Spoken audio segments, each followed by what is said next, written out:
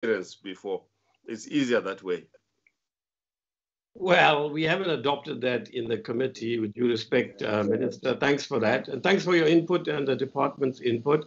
If it's the members. A, it's a suggestion. It's a suggestion. No, no, I understand, except that it over party politicizes it, but then I'm cool. If people want that, do people want that? Are they fine with that? Or would we go to normal routine? No, let's go normal. Let's go normal. Chair. All right, so you first, Zola. Right, number one, who's number two? Du Toit is number two. Dion George is number three from what I see here. Who's yes, next? Yes. Um, Who's next? So Mr. Ves Mr. Wessels. Four. Mr. Njadu. Five. Anybody else? Yes, Chairman. Mr. Du Toit. Yeah, he's number two, yo. Okay. Okay, for now, let's take Zola, three minutes. I'm going to take you on the cell phone, right? Sorry, who else? Dennis Joseph. Right, there you are. Okay, Joseph. That's seven, right? So you know you're numbering. I don't want to intervene unduly, so can we flow from one to the other? I'll just let you know 30 seconds before your time's up. So who's going first? Zola, you're on three minutes. Thanks. Yes, thanks, Chairperson. I will take far less than the minutes that you have given Good. me. Chair, because one, I concur with the minister that uh, whilst you are talking about this, there is the medium-term budget statement that is coming in October. And uh, he has actually taken us to confidence uh, regarding this that is presented today. Just one question, Chair. For the sake of easing the tensions around the country, Minister, uh, we, we understand the, the overstretchness uh, and the pinch that government is actually experiencing. Now, on borrowing for funding versus uh, government's steadfastness on the RSA policy. Uh, you get me, Minister? I don't mind wherever you go for borrowing, but won't this affect uh, the South African policies? This is in particular relation to the IMF specifically. Thanks, Chairperson. Thank you. Next, number two, please. I see there's also Floyd, uh, Dipoor, Geordin, and uh, Vusi after that. Yes, go ahead, number two. Thank you, uh, Chair. Uh, Minister, you mentioned that government's current borrowing activities will make it difficult for private investment. Uh, currently, government is not in a position to effectively handle the challenges of the economy.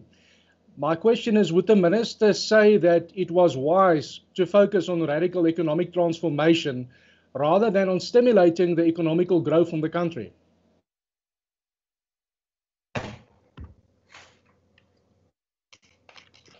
Number three, please. Um, thanks very much, Chairperson. Um, well, certainly the picture does not inspire very much confidence. I mean, we're in very deep trouble, and anybody who thinks that we aren't is really not understanding the problem.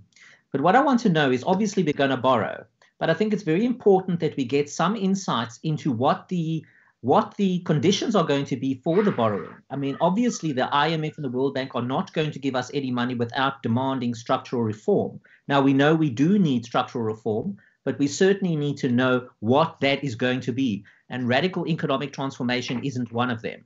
Also, this situation is making people incredibly nervous um, especially people with, with, their pension funds. They are concerned that government is going to tap their pension funds to fill this massive big hole that has been created by long term mismanagement of the economy and now COVID. So um, I would like the minister to give us an assurance that government will not do that.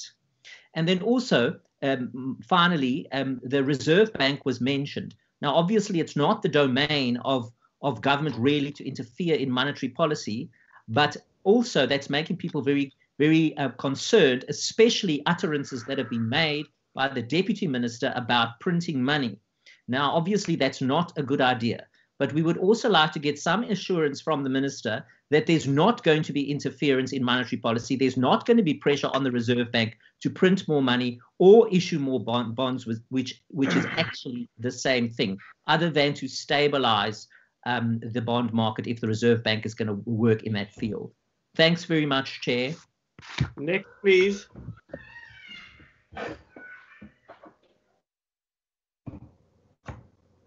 Lubabalo, who's next? I think it's Mr. Mr. Wessels, Chairperson, if I'm not mistaken. Right, voter. Thank you, Chair. I thought I'm number five, but maybe I can't count. Um, sorry about that. Uh, Chairperson, thank you. And thank you uh, to the to Treasury for the presentation as well. Um, we are in trouble, and uh, I think, uh, yeah, it's it's there's no doubt that uh, the minister very clearly yesterday indicated how deep in trouble we are. But the question remains, even after the minister um, did announce or did uh, paint that picture as to what the plan of government is to get out of this. And one of the biggest questions is what is going to be done with regards to the public wage bill? Um, we didn't hear any clear indication with regards to that. We know that the unions have already indicated that they are not going to accept um, the proposals in that regard. And uh, what is the plan with regards to that? I want to echo what uh, Mr. George also said in terms of the structural reforms. But to add to that, I think we need policy certainty. And what, what happened with regards to National Treasury's policy paper, which proposed certain um, reforms? Um, it's, it's as if that paper disappeared now and it's dormant. And we actually need a lot of those proposals now. And then, lastly, Chairperson, with regards to South African Airways, um, and it was mentioned now in the presentation as well with regards to government guarantees. And the problem that we have is what will happen if South African Airways now completely fails and it's liquidated? Um, that will obviously um, put much more pressure on uh, government debt. And is Treasury also involved in this process and also taking um, this this uh, taking this into account and the impact that this will have? Um, and really, lastly, Chair, the 100 billion rand that was announced for job creation. Uh, if it can just be explained, what will that entail? what is that money for and how is it going to create jobs? Thank you. Next, please. Lubabalo, help, please. Mr. Njadu. I think it's, it's Mr. Njadu. After Mr. Njadu, it's Mr. Shivambu.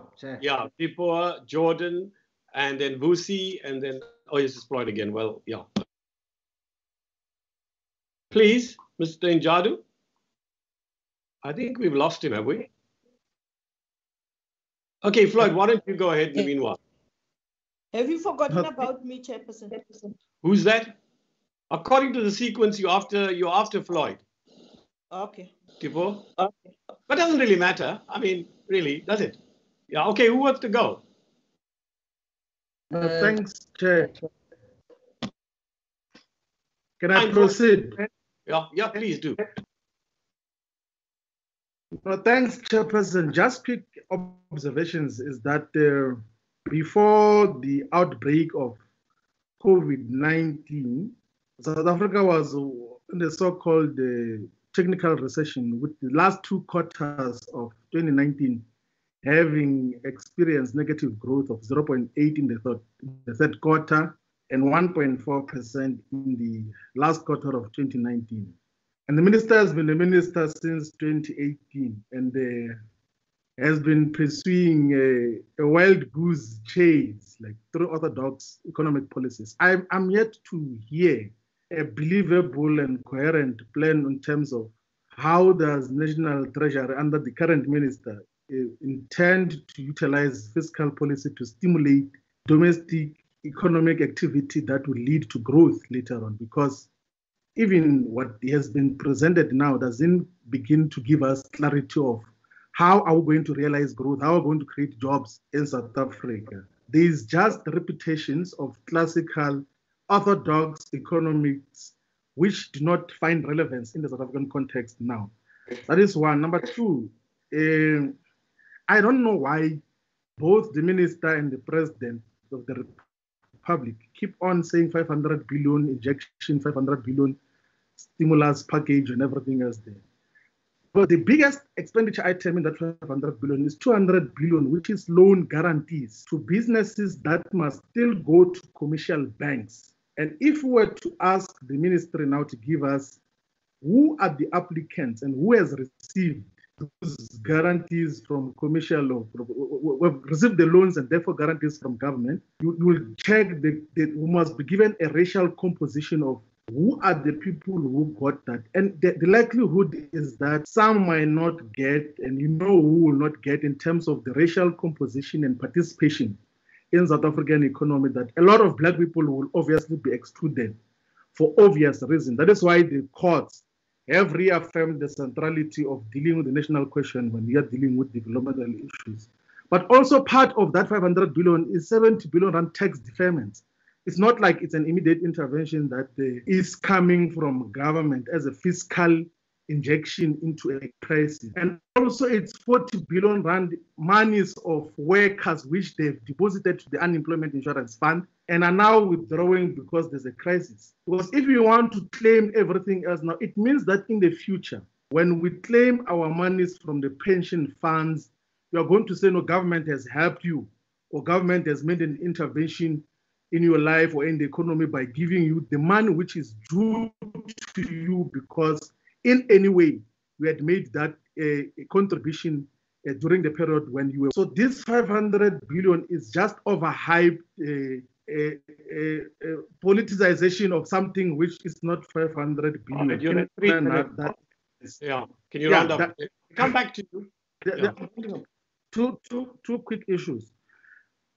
One is that I don't think that we have exhausted domestic fiscal and monetary policy options to could the deficit. And they seem to be just overzealousness to go to the IMF, which definitely is going to compromise our sovereignty. That is a given. You don't even need to ask anyone. There's no negotiation which is going to change the attitude and conditionalities of the IMF. The last question that I want to then deal with is the issue of this zero-based budgeting, which is a method in which all expenses must be justified for each new period. And in the African context, you have got obligations which you cannot move away from in terms of budgeting. You can't move away from the commitments on social grants. You can't move away from the commitments on healthcare, on, on education, on, on safety and security. You can't move away from that. So I don't understand this context of zero-based budgeting. Maybe it's just another phrase mongering, which is being introduced Floyd, as a measure to achieve. Now, just yeah. rejected. Those measures which were rejected when we dealt with the. Right, the look at the screen. You're at 422. Yeah. Okay, not fair. Anybody else who wants to speak up to 422, you're entitled to, to be fair. Right. Dennis, we forgot you. Then we come into yeah. report. Yeah. Uh, thank you, Chairperson. Thank you to the Minister and, and the team. Um, just got four questions. Um, on slide 15, I just would like to, uh, about, it's about the VAT, the value added tax. I want the Minister to tell the Minister of COGTA and the Minister of Health, because we are, we are, we, we are, we have a shortage of tax, of VAT. Please tell the two ministers that people is allowed to smoke, or maybe I should say people are not allowed to smoke, and not allowed to pay tax legally, but there are many people who smoke illegally and they pay these higher prices to the cigarettes.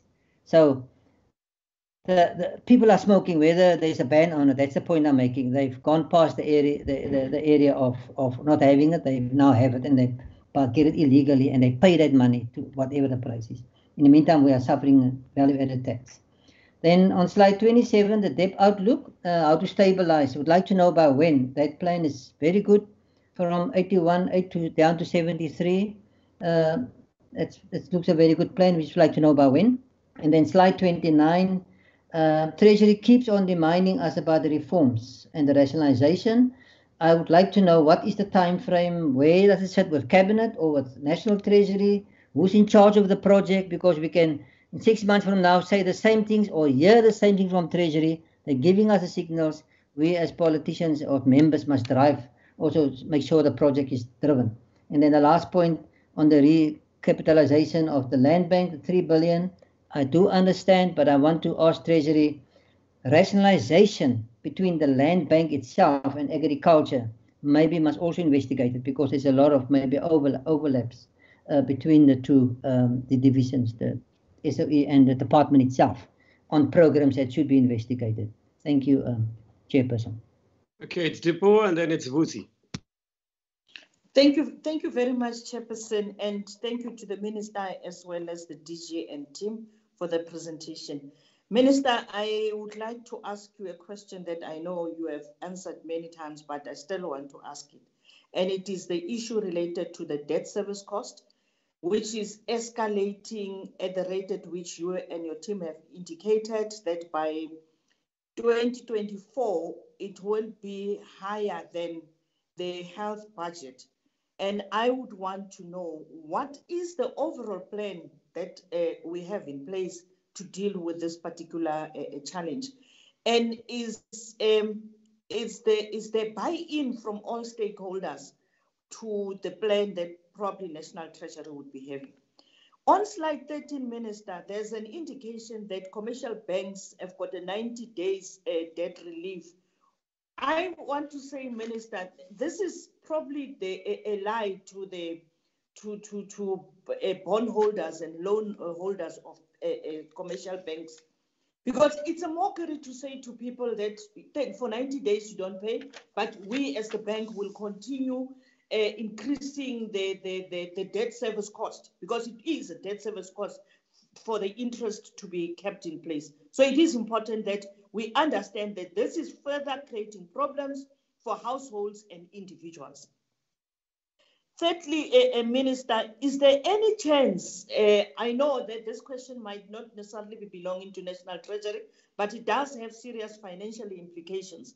Is there any chance that uh, for health workers and education uh, practitioners like educators who have got who are above 55 years, have comorbidities, who are, now affected by this uh, COVID-19 to introduce some kind of VSP for them because I know that with teachers, probably you can work remotely, you can work from home, but with nurses, it's not possible for them to work from home. So it is important that we, we, we, we, we get to know because in our constituencies, we get to be asked these particular questions, especially with health workers uh, being infected at the rate that they are and uh, some, even in the Western Cape, there's one who died the day before her retirement date.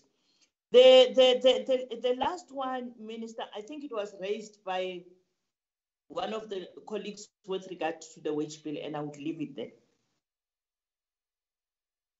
Uh, I forgot, I must apologize. Uh, Geordin's next, and then it's uh, Brucey. Sorry about that. Geordin? No problem, Chairperson. Uh, thank you very much, Minister, and your team. A very good presentation. It really does fill one with confidence that we that we have a fighting chance to avoid the jaws of that uh, hippopotamus uh, when one listens to the thoroughness and the and the uh, the detail of this presentation. I've I've been in these long question sessions before, and what tends to happen is that the minister gives a very general response because there's so many questions. So I just want to focus on some very specific questions so that I can get some very specific answers. I want to start before the crisis. The the DG, I think it was, or, or the, the one of his colleagues said that we came into this crisis lacking in uh, fiscal buffers. I just want to ask who who bears ultimate responsibility for the lack of fiscal buffers going into a crisis? Uh, if not the Treasury. The Treasury is responsible for, for the nation's finances, and uh, it's it's a it's an odd statement to say that that we came into this crisis with no fiscal buffers coming from the Treasury. So who bears responsibility? Who's accountable for that? Minister, if you could just tell us, please, very specifically, what was cut out of your speech yesterday on Regulation 28? You said in your press conference that something was cut out of the speech. I'd like to know uh, what it was, please. Then, very importantly, you said in your speech that the cabinet had committed to achieving primary balance by 23 24. What is the nature of that commitment? Is it a commitment in the sense of we will do whatever it takes to deliver that outcome? Or is it a commitment like many of the other commitments we've had, commitments to economic reform, for example, which means we'll try our best, but really no promises? Because what South Africa needs is a whatever it takes commitment from cabinet to achieve primary balance. Uh, but it can't just be a best effort. It has to be a, a real, meaningful commitment. I wonder, Minister, if you could please express yourself. What is your view on the proposed rescue uh, business rescue package uh, for South African Airways, which requires 16 billion rand in the in the current year and 33 billion rand over the MTF? I presume from the lack of any figure related to SAA in your speech yesterday that that says something about your position, but I would like it clear and on the record, please.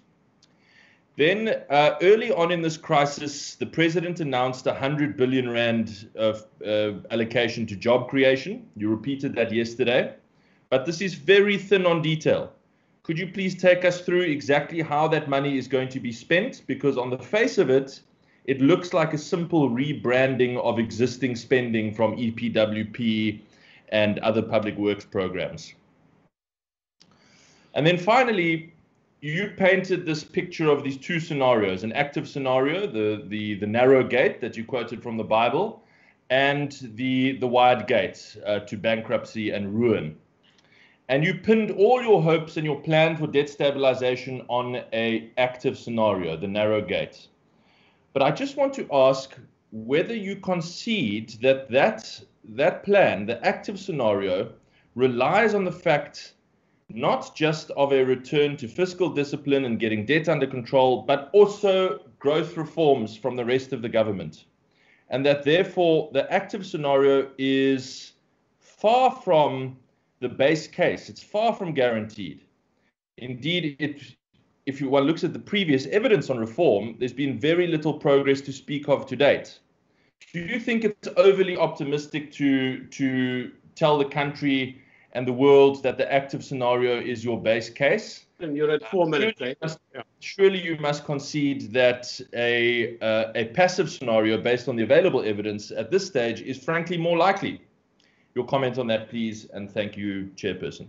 All right, just to get a sequence going, now that we've had three different ways of reaching me, it's Njadu who's now reconnected with us, Busi, Divet, Skozana's withdrawn now, Aucamp, Mapena, and a Shabalala. Is that correct? And somebody's withdrawn. Is that Skozana? Okay, go for it. You know the sequence. Lubabalo, help me with that so we don't uh, veer away from it. I think we should draw to a close with this and allow the minister and team to respond, and then we can come back. So that's the order. Njadu, Busi, Divet, Skozana, Aucamp, Mapena, Shabalala. Thank you. Oh, Skozana's withdrawn. Right, go for it. Uh, next is Njadu. Are you back Njadu? No, he left again, Chair. You can skip him. Vusi, I see him on the screen. Yes, go ahead, Vusi. No, no, thank you very much, uh, Honorable Chair. And uh, let's appreciate the supplementary budget which has been set by the Minister.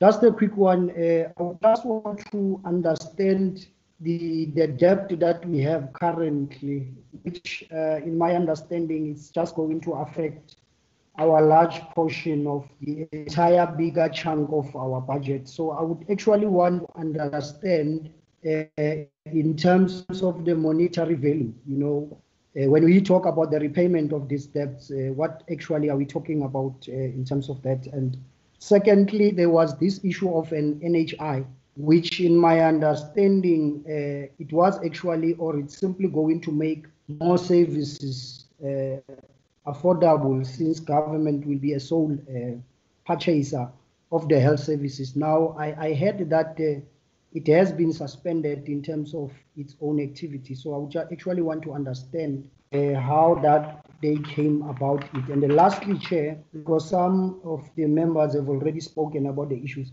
In terms of the budget, they, they were talking about the balances to provinces which is going to be heavily changed. So can we also get clarity on that and understand again uh, how our budget is going to affect our township economy?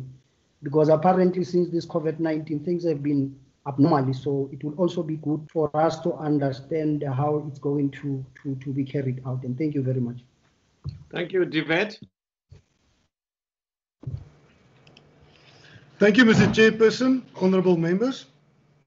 I've got a question to the Honourable Minister. Uh, in regards to the 3 billion that was allocated to the land bank.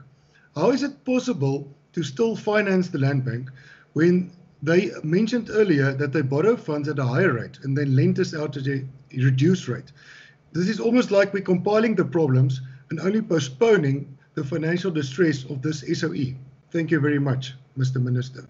Honorable Minister, thank you. Thank you. Next is Willie Aucamp. Willie, are you still connected? Yeah, okay, go for it. Thank you, thank you, Honorable Chair. I have been covered. We can carry on.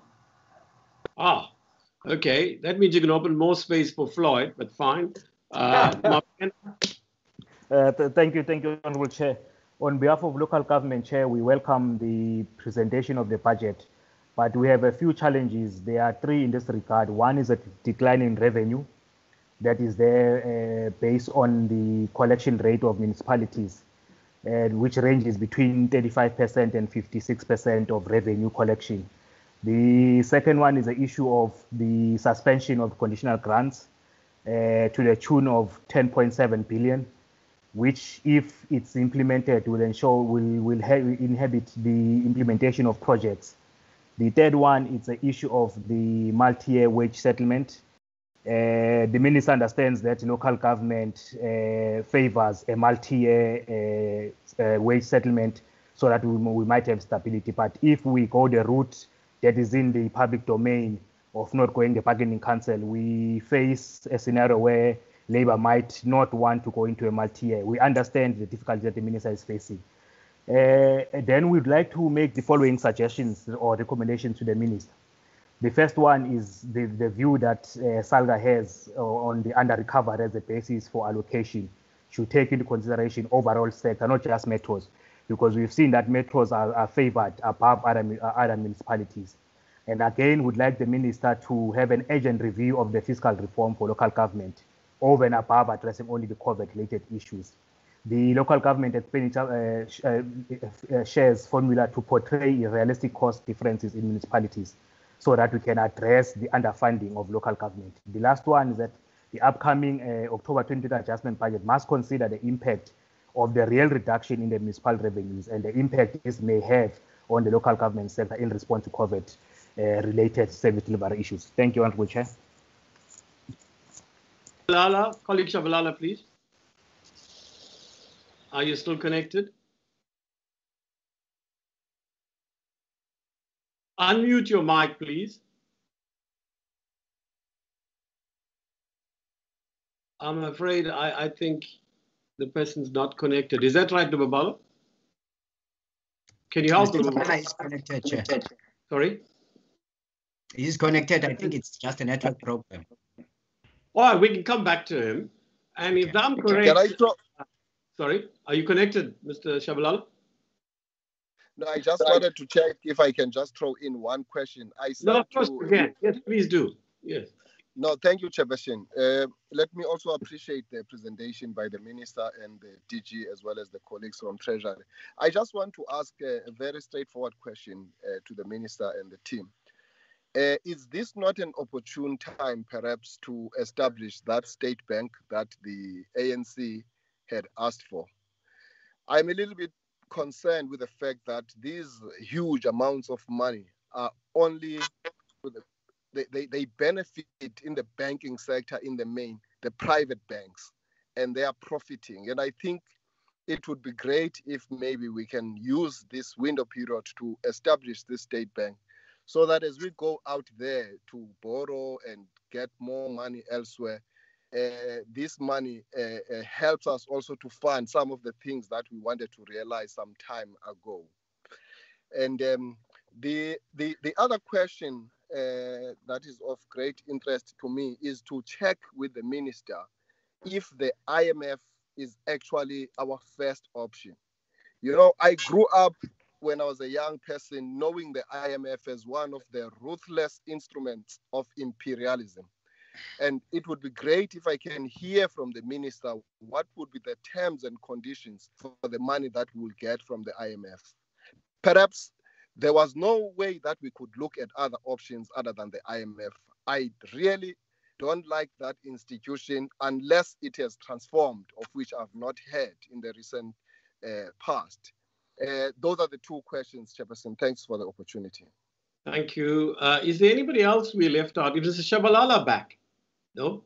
Anybody we left out? Anybody not? Mr. Mr. Njadu is back, Chair. Ah. Okay, go for it, Mr. Njadu.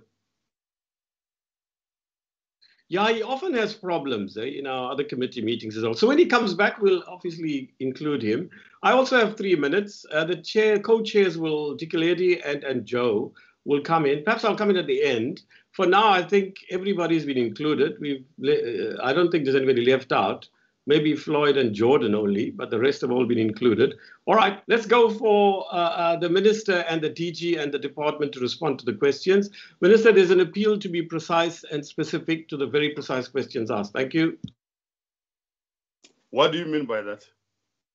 Precisely what I said, which is that, you know, the problem are you, are, you, are you suggesting that I'm usually not precise? No, no, no. It's the system that I have a problem with, but this is what we stuck with, which is ask too many questions. It becomes a shopping list. No minister, however competent, right? And you are No. very competent. You must You're be very careful. You No. must be very careful no, about very any said. undertone. No, no, no, there's no undertone except what you see in it. Can we please move on? Well, that's what you said. You said you want. I must Ah, be precise. Yeah, yeah. But it has happened before in the SCOF period when I chaired. I'm clear about that, but we can agree to disagree, Chairperson. No, must Minister. remember I'm also a member of parliament. But anyway, let's leave that aside. the uh, thank you very much, uh, honorable members, for your your questions and your, your contributions. I know that uh, the honorable member from the DA complained that I normally give a comprehensive answer and not specific to each question.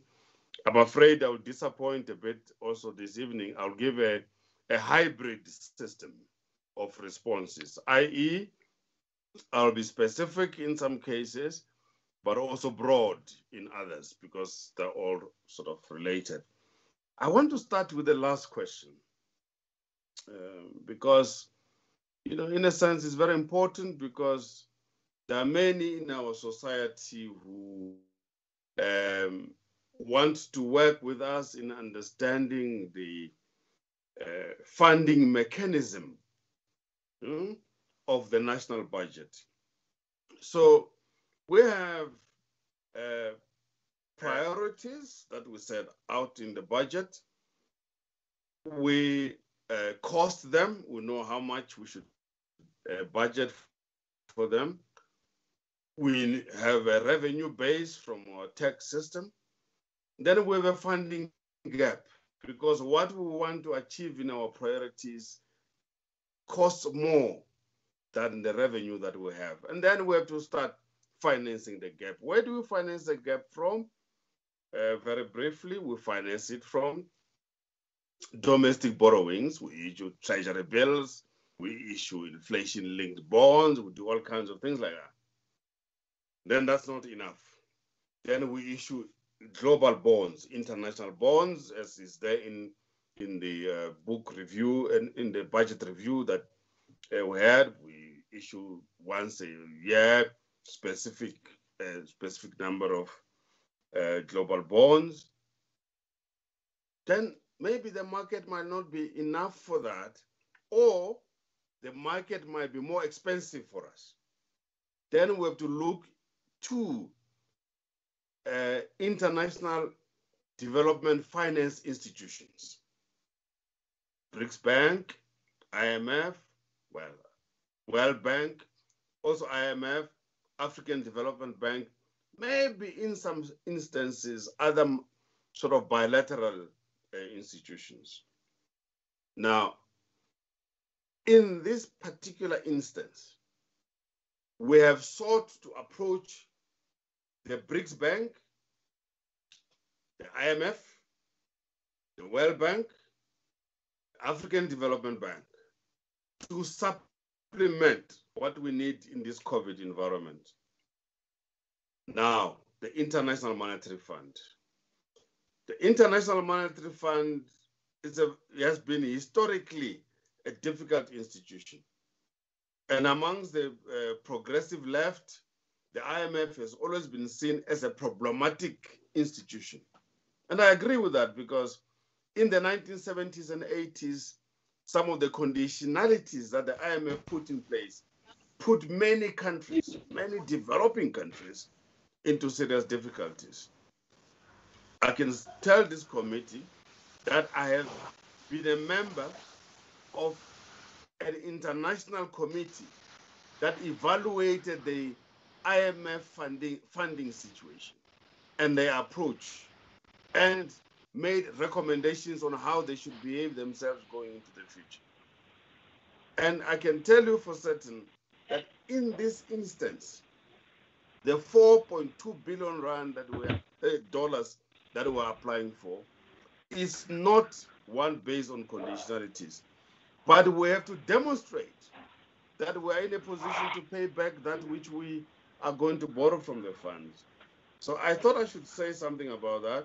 But we are approaching, as I said, the BRICS Bank, where we are a member. We are approaching the IMF, where we are a member, a fully paid member. We are approaching the uh, World Bank.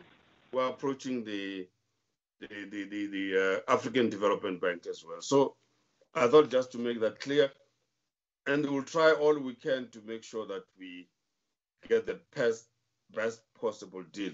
On the state bank, I think the honorable member makes a very good point, actually, that uh, um, if we had a state bank or a system of state banks in place, these would have come in very handy at the moment when we need, for example, the credit uh, guarantee scheme.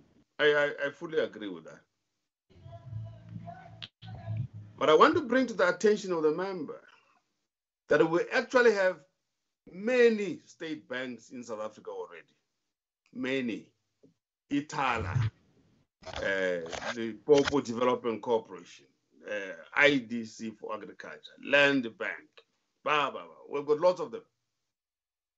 The key question is whether they have been able to fulfill their mandate to the best. And I think, Chair, I could ask you maybe to schedule a special conversation in future about this state bank issue. And Deputy Masondo is on the line. He might wish to say something. But let me indicate to you that you actually have another quasi state bank in place. Sorry, sorry, sorry, sorry Chairperson. I think I, I, on a point of order, when when when we speak about the state bank, we're talking about the bank as recognized by the Banks Act not not those financial institutions, none of yeah, those. That but, you can come back now. That's not a point of order. But that's not a point of order, Floyd, as you well know. Minister, go ahead. You can come back. I think there's plenty of time, to be fair. Right. Floyd can come back, no problem. That's a debate. That's not a point of order, Minister, as you and everybody will acknowledge. Go ahead. Sorry, Mr. Minister. No, I said that maybe we could come back at some at some point. Yes, indeed. That's what I'm going to propose. I did. It's I a useful I did, say, I did. I did say that. I did say that.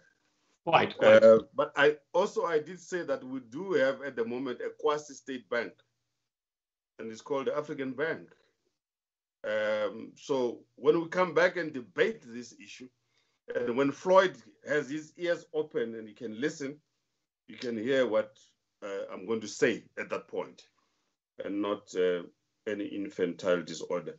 So they let me come back to, uh, uh, in all fairness, uh, the first question, um, which was about borrowing from the IMF. I think I partially dealt with that, uh, Mr. Chairman. It was the first question in the. Uh, yeah, and you've dealt with it on a myriad of occasions. That's correct. Yeah. Thank you. Okay. The next question was from Mr. Didoy.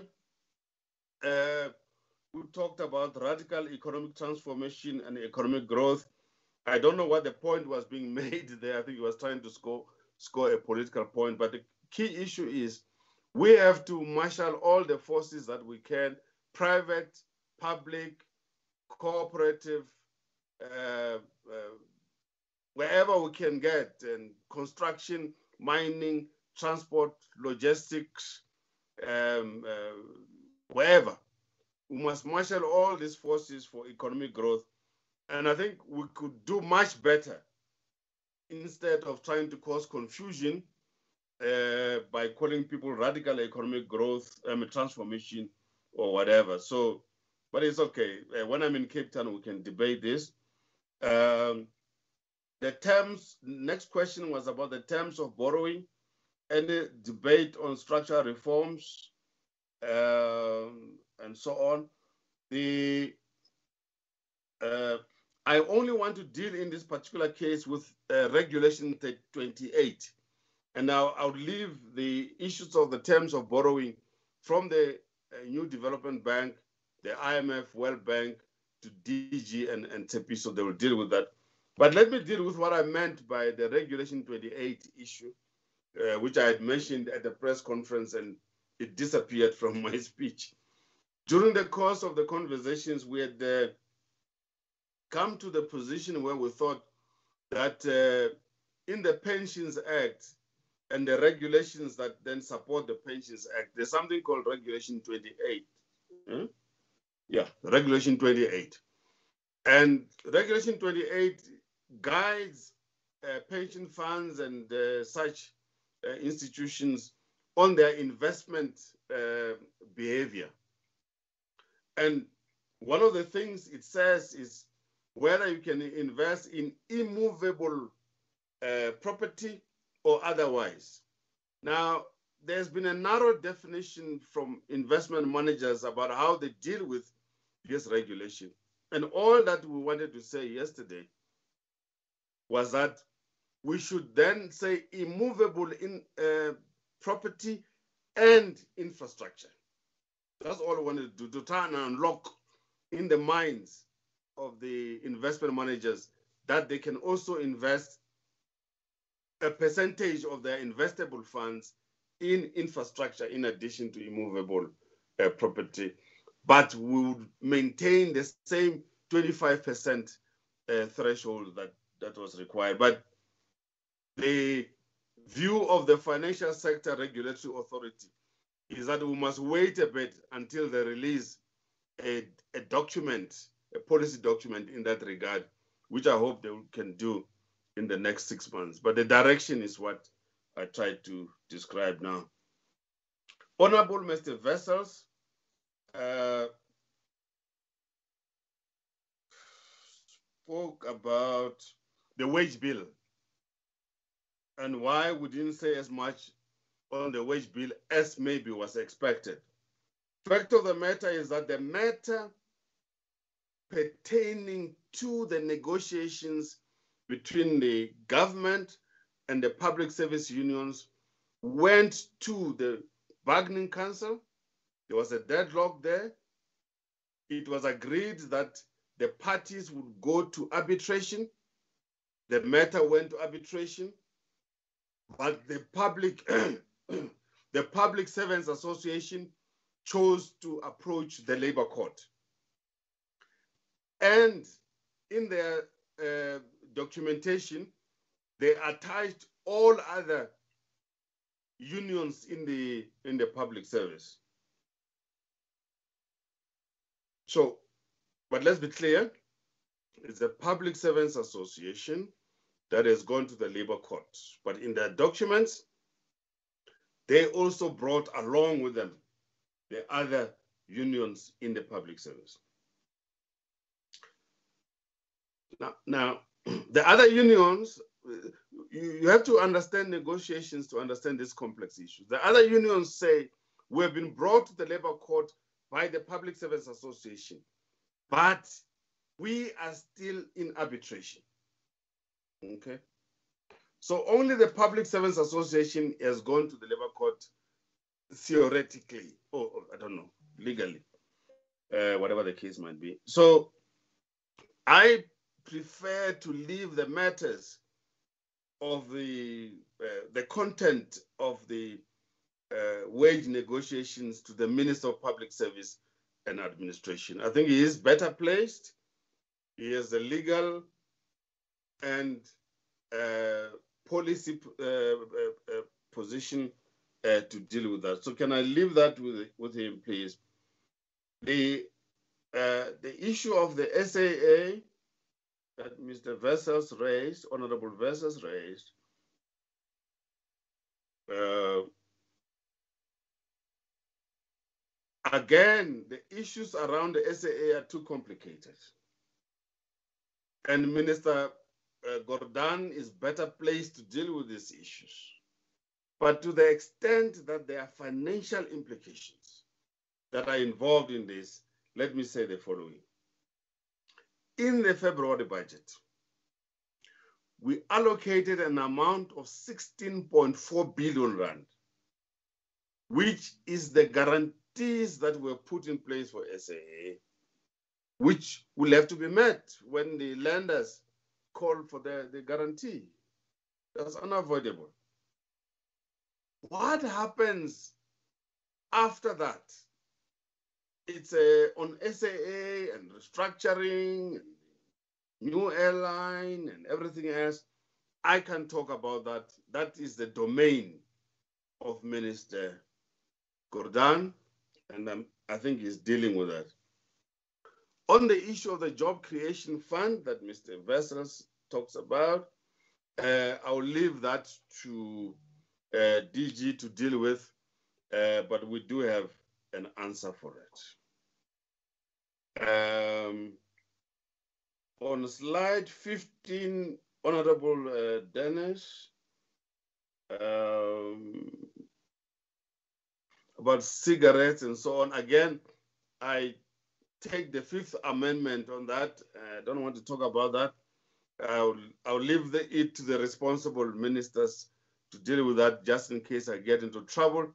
And Honorable uh, Yunus Carrim always, always enjoys it when I get into trouble. So I don't want to give him any pleasure whatsoever uh, this evening. Uh, so, so cruel. But you always do. no, no, no, you see too much in my comment. You always do. I was But referring to the meet at- finance. But when we meet at the Royal Horse Guards Hotel in London, you're much nicer to me. Um, I was about referring the land bank. In about revenue. The land bank. About the land bank. Um, we are very committed to the revitalization of the land bank. Uh, that's why we have you know, creamed funds around to try and put a, a support package for the land bank of 3 billion rand, and we're committed to that. But the land bank management and the board of directors must work with us to create a genuine land bank that supports agriculture in South Africa. Um, and it's a case throughout uh, in our country. We must create institutions which support uh, this development and growth initiatives that we want to be involved in. Um, and then uh, um, uh, Honorable uh, Peters, um, Honorable Peters, number eight, Honorable Peters, is the debt service costs. We'll bring up a graph again to, to explain that.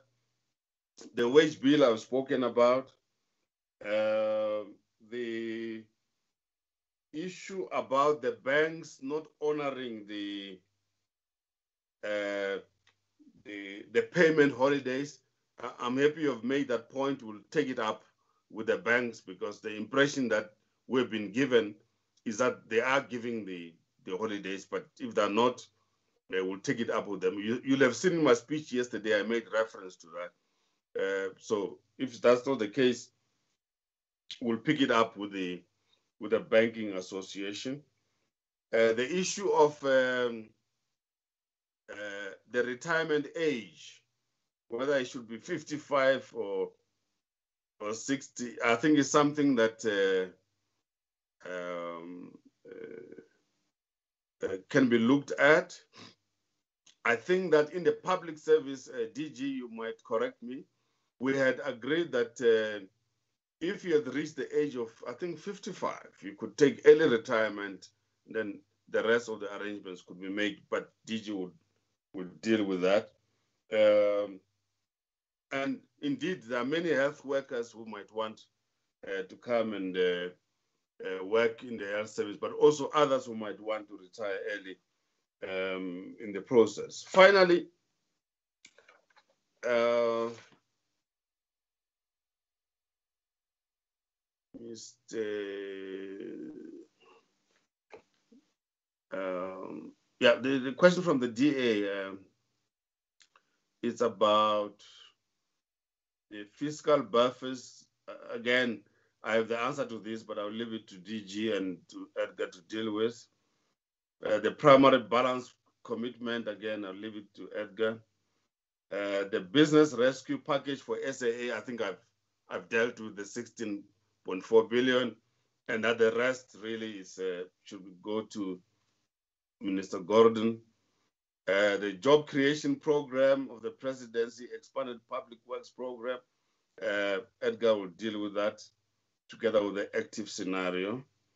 Um, uh, yeah, I think to the best of my ability, Chair, I've, in terms of the notes, I took copious notes and I, I've tried my best to answer, but maybe DG would like to uh, cover some of the points I didn't cover um, with your permission, sir. Yes, thank you very much. Over to you, DG and your team. Just to remind members, especially those from the provinces, that there seems to be an echo, Lubabalo. Or I won't say anything right now because there's something wrong on my side. DG, will you take over. Thank you very much, Chair. Um, I don't know if you can hear me. Chair, thank you very much, Minister, uh, You're for the opportunity to respond to some of the questions. There was a question around uh, the conditionalities and uh, about the loans. Um, I must hasten to say, Chair, firstly, in engaging with the IMF, firstly, I think we should be clear we are not going to be giving up any sovereignty, and we are not going to be giving to anything that will compromise the sovereignty of the state. What we are talking to the IMF, excuse me, IMF about is about the agreements on broad things that we've agreed to in the past, things that we as South Africa have committed to. And all what the IMF is doing is to ensure and check how far we are. I'll give an example. These are issues that we've raised in our own document, for instance, in the towards uh, growth, uh, uh, you know, South Africa, the document that we issued last year, whereby we were talking about electricity. In there, we are saying what is being going to be done around the renewable program. When is window number five coming in? On digital migration, there are things that we've said and committed to. The question then becomes, what have we done? On transportation, we said, how do we quickly propose measures that will reduce cross-subsidization? How far are you? When are you going to do it? On agriculture, there are some commitments that we made and suggestions that we said we want to come up with. So the key first question is going to be, how far are you and when are you going to do some of these things? So we don't see those as conditionalities. But we see those kind of reform package issues that we in the past ourselves as South Africa committed to. So those will there'll be such conversations and such agreements that will make it easy. Secondly, the IMF expects us to have an MOU, for instance, between the Reserve Bank and ourselves. The Reserve Bank Obviously, the MOU, for instance, will talk to around the receipts and the requests that we'll have to be making to the IMF on this, uh, the promissory note that we'll have to obviously agree that we will pay you the 4.2 billion back and how we're going to service the repayment and because the money has to flow through the reserve bank so one call it a, an agreement that says we will sign an agreement with the reserve bank and this agreement will facilitate the disbursement of resources to and fro the two institutions in repaying or in getting the resources. And these are all some of the, call them safeguard policies that are in the IMF system, whereby we have to have certain uh, agreements between ourselves and the Reserve Bank to facilitate the transfer of money. So, in a nutshell, there are no conditionalities uh, uh, that that uh, structural adjustment program of the 70s that I think the minister spoke about none of those things. The other broad thing and big thing that is uh, was in our discussion with the IMF, which I regard as a make or break deal, that we have to demonstrate that debt will stabilize. That's in our interest, and we ensure that debt stabilizes at 87% of debt to GDP in 23-24. That's not a condition. It's something that we as South Africa committed ourselves to because as the graph indicates that Edgar showed and one of the slides, that debt was spiraling out of control. And then it was obviously going to be almost impossible to actually save for future generations. So these are not conditionalities, but are broad agreements. So in terms of the process, we will have to, as South Africa, the Minister of Finance and the Reserve Bank Governor, we will have to send a letter of intent to the IMF. And the letter of intent will, among many things, indicate the intention, what to use with the money, and, and etc., etc., in terms of a, a rapid finance instrument requirement. So we will be doing that. And once that letter of intent is sent through, after discussions that have been held, and obviously we're almost 95, 96% there, uh, the, the issue then will go to management of the IMF and finally to the board. And the money, once the board is approved, will take a few, uh, uh, you know, a few, a few days for the money to flow through. We still expect that the money should flow in the current financial year. With the World Bank, the World Bank will be closely watching what the IMF will be doing what the IMF uh, you know, uh, you know, agreement we've reached the IMF. And then based on that, we then obviously will engage. We penciled in uh, anything between a billion and two billion dollars uh, with the with the World Bank, and we hope those discussions will will finalize also, and then money should flow before the end of the financial. Same as the new development bank money has gone through.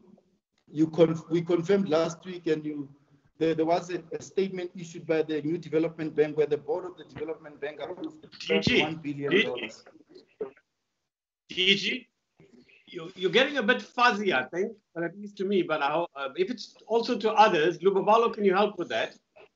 You sort of find, and then you're fading in and fading out. Yes. It's not your fault. Uh, they'll help you to be uh, more audible. Okay.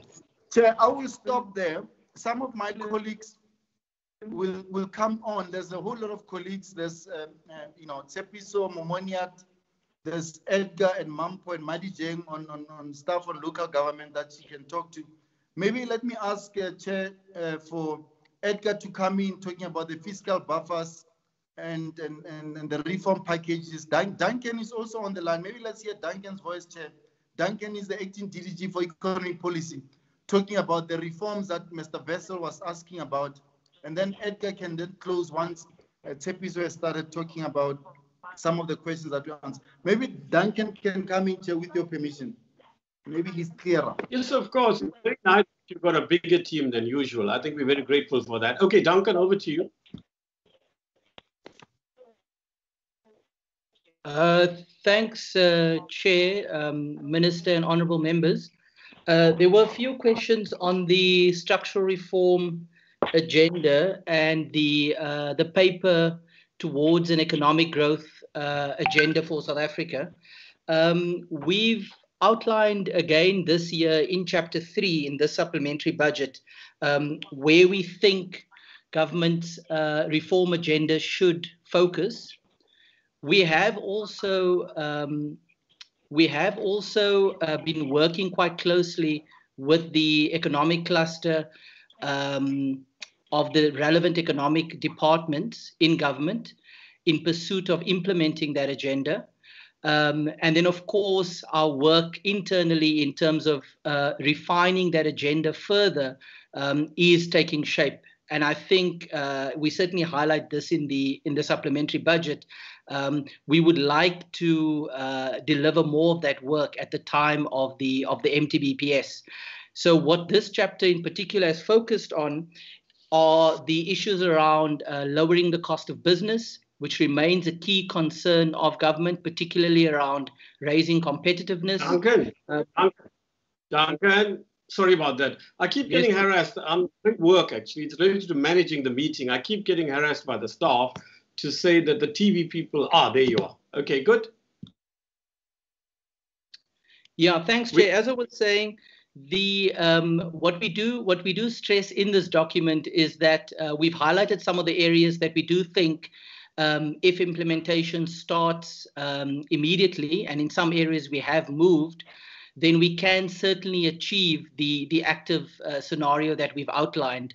So I think in in in summary, um, the key issue here is that more on the reform agenda will be announced in October. It's a key part of our uh, messaging around fiscal sustainability and fiscal credibil- credibility. Uh, to the extent that we start uh, immediately on the implementation and we build on some of the successes over the last few months, the achievement of that active scenario and therefore the achievement of fiscal credibility is within our grasp. Um, and I think that is the that is the key message we want to leave uh, the the honourable members with.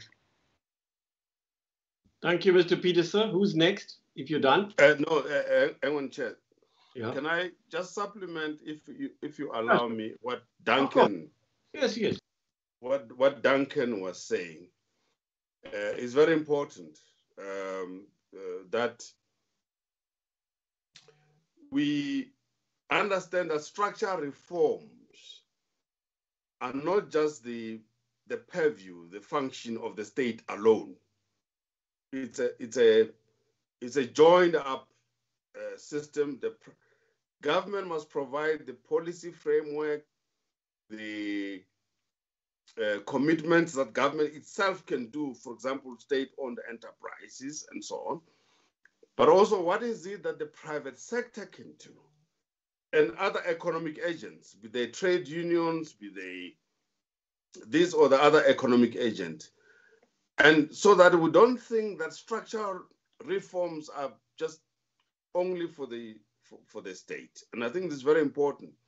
Therefore, the work that uh, uh, Deputy Minister Dr. Masondo will have to do is mobilize the uh, uh, partnerships within the state, but also mobilize the other economic agents in the private sector and the trade union movement and others. So I thought I should just say that so that it mustn't be structural reforms are not just the function of the state. The state is a regulatory policy framework and also that which the state owns, whatever its monopolies, ports, uh, harbors, whatever, it can do better, but mobilize also the private sector. So whether it's a manufacturing cycle, cycle rather, or the mi uh, mining industry, the agri-SAA, and so on, um, agri-SAA, mobilize all of this into a common effort towards uh, building the economy. I thought I should say that just to supplement what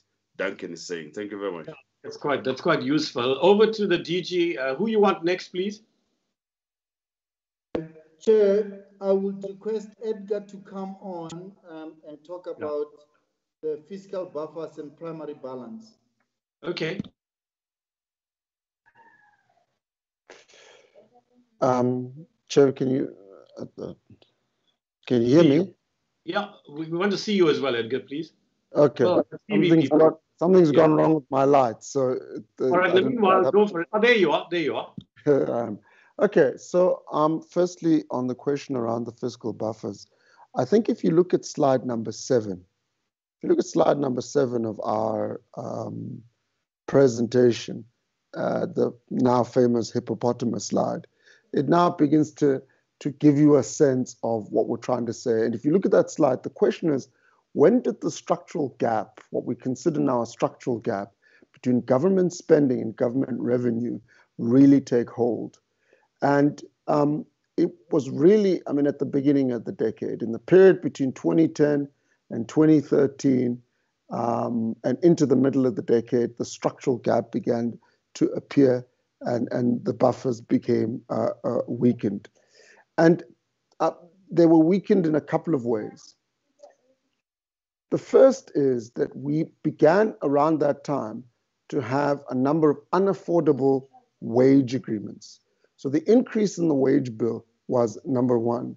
Um, and the fact that you know, at the time when the state was negotiating on the wages, the state um, uh, was not successful in, in pulling that back. That's number one.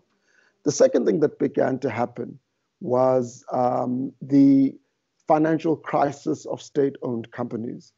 When the financial crisis of these companies began to take hold, the number of guarantees rose uh, dramatically, um, and the number of, frankly, bailouts uh, also started coming into the system. Um, so, from the spending side, you can see if you look at that, the, the, that sort of that line above, you can see how that line really began to, to set in place and refuse to come back down. So, those, th- those are the two sort of big things that happened on the fiscal side that um, that, that, that are, are, are a reason for why the buffers began to disappear. The second, uh, or the, the last one, of course, that was important was, um, and I mentioned this in my presentation, was a failure to restore economic growth. After the global financial crisis, we never went back to the levels of growth that we had in the previous decade. And in this regard, what that did was it created a problem for the for fiscal policy because fiscal policy making was for a number of years being made under the assumption that growth would return. You'd remember, uh, Mr. Chairman and honorable members, that uh, we started uh, from 2012 onwards putting in place spending ceilings, but the spending ceilings were predicated on a expectation of growth which did not materialize. So that would be my answer on why the fiscal buffers um, uh, went down. Um, with respect to the primary balance, I'm going to answer that question uh, in in this. You know, I would sort of merge it together with the uh, issue of the active scenario um, that we have uh, put together. Um, just for everybody's um, uh, to make sure everybody understands, the primary balance is the balance of um, um, of the fiscal accounts minus the debt service costs. In other words, it's meant to reflect as a proxy the areas of fiscal policy that government is directly able to influence in the short term.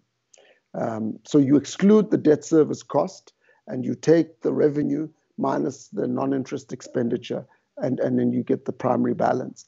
And for the purposes of um, determining the active scenario, what we were targeting was achieving a primary balance in, in a particular year. In this case, we achieved it in 2023 24, because in that year was when we wanted to see debt stabilize.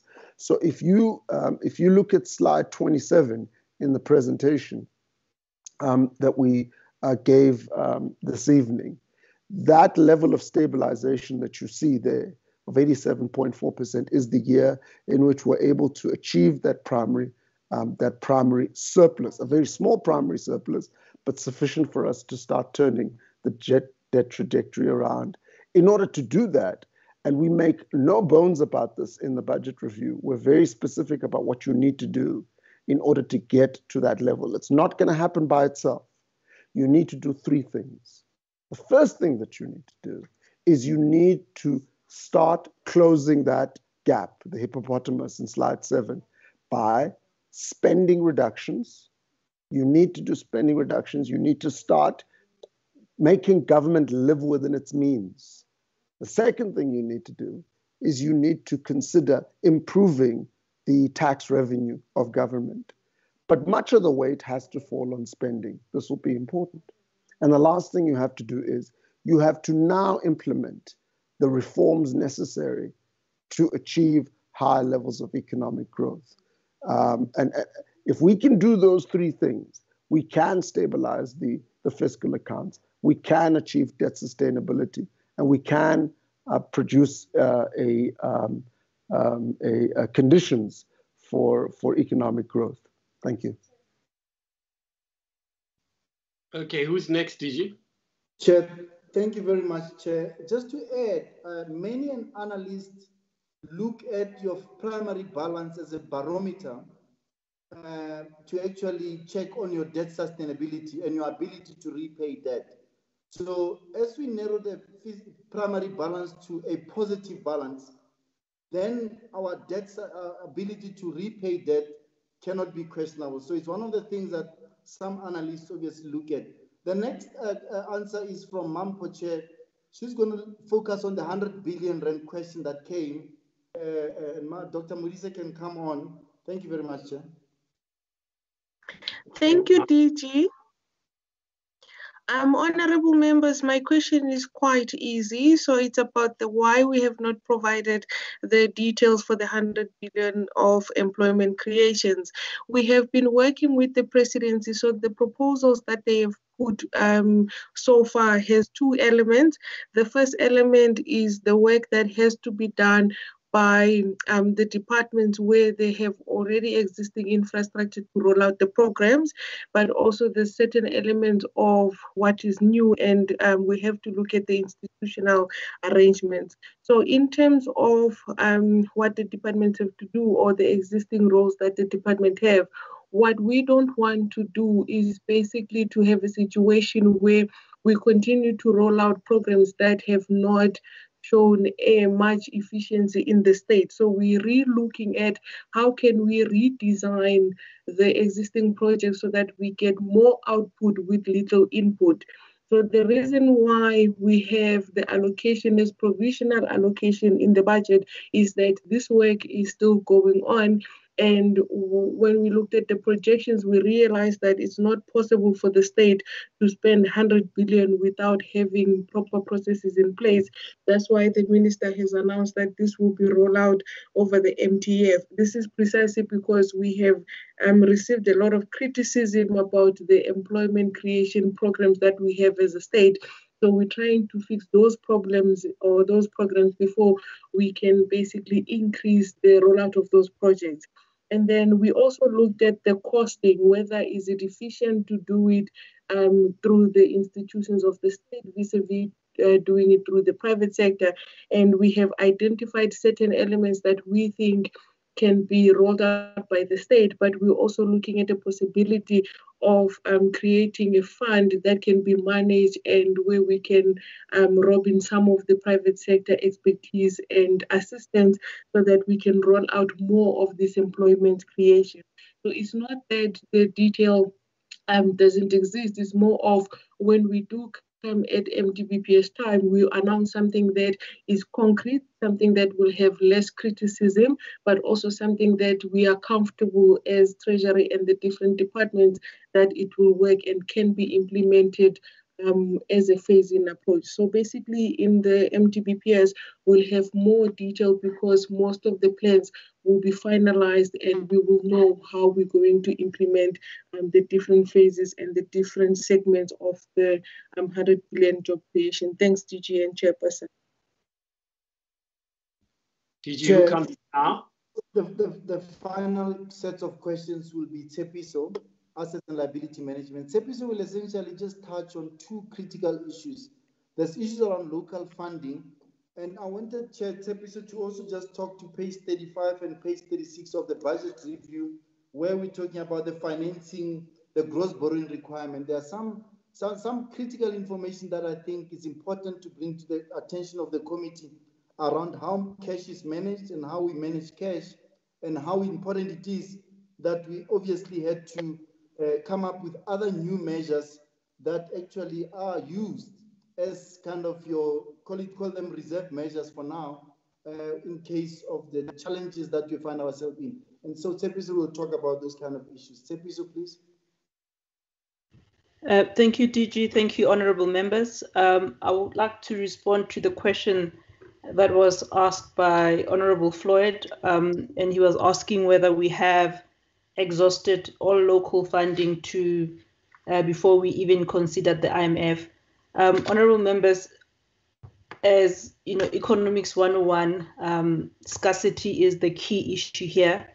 And the if you look at South African savings, South Africa is not a saving country.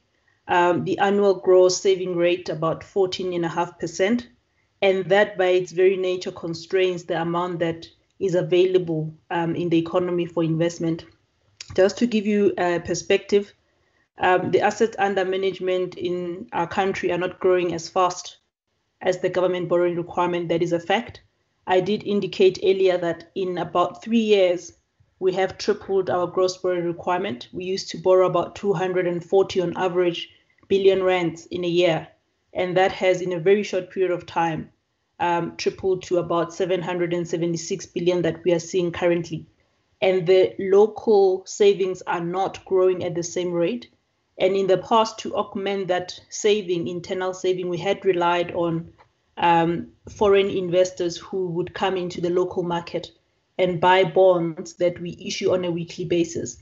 Um, just to give you a perspective, honorable member, every week Treasury raises um, over 20 billion rands uh, in various instruments uh, to finance the budget deficit. And that is a significant number. And in considering whether the market can absorb uh, that amount of money, we look at what is available in terms of saving, what is available in terms of uh, the assets that they're managing. Uh, to give you a perspective, about 9, 10 trillion rands are managed by the non bank financial sector. Um, about 6 trillion is within the banking sector. The non bank financial sector honorable members consist of your long-term insurers, your short-term insurers, uh, your official and private pension funds, and other finance companies, and those contributes to about almost 10 trillion. This money is invested in various um, instruments, and those are regulated in terms of limits.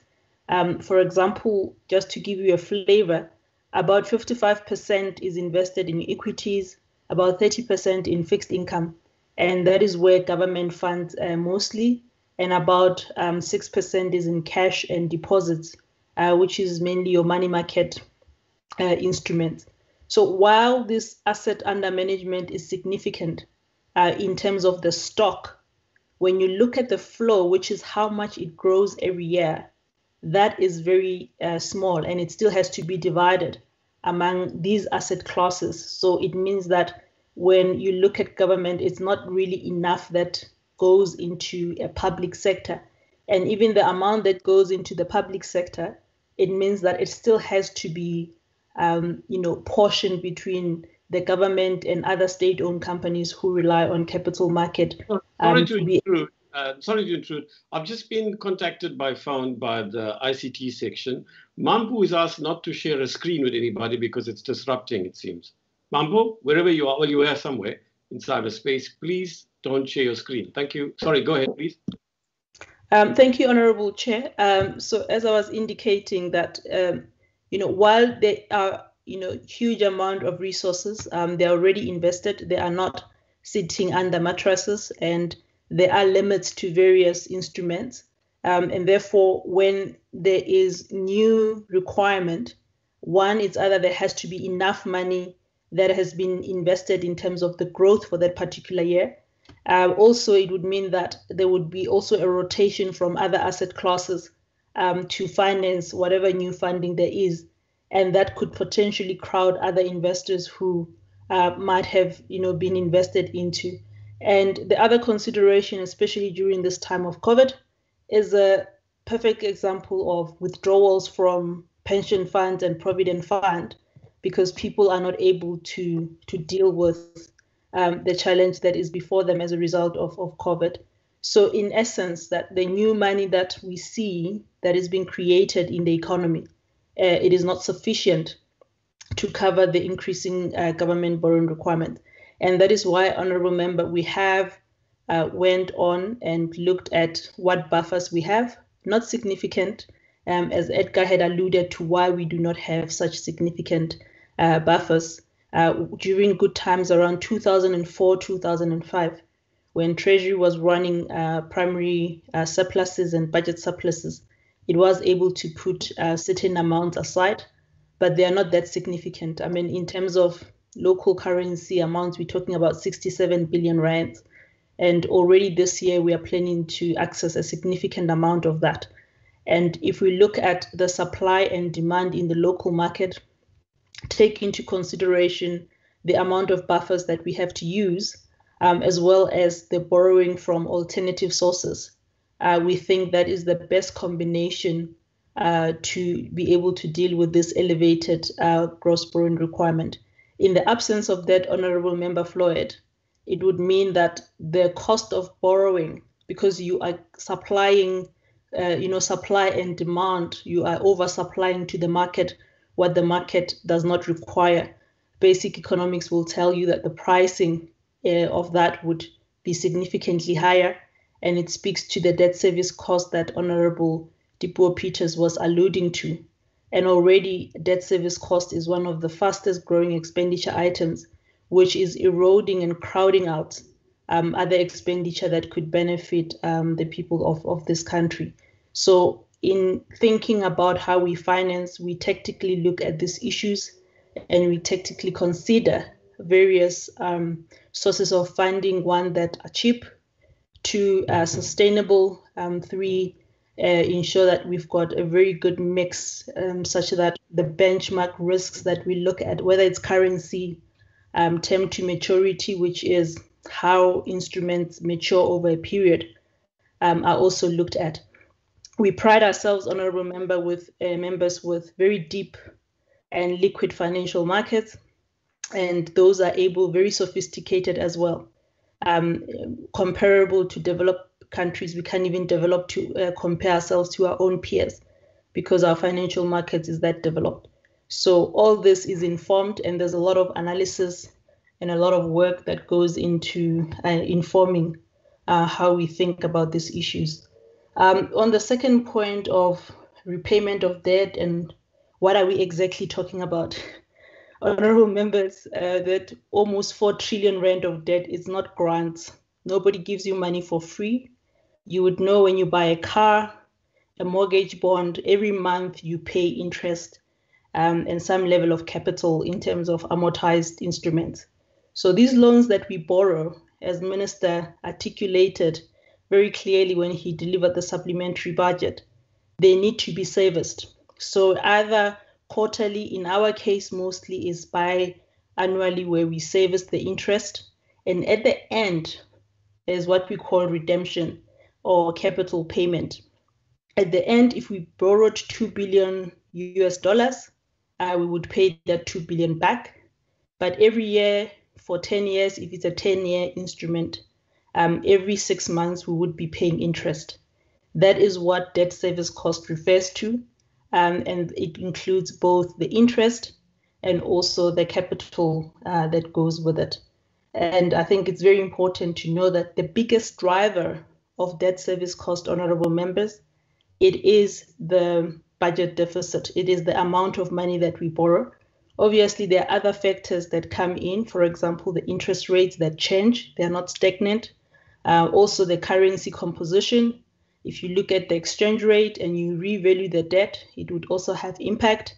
Inflation, as far as we issue inflation linked instruments, um, if inflation is high, um, it implies that the debt would have to then be um, revalued at a higher level um, in terms of repayment.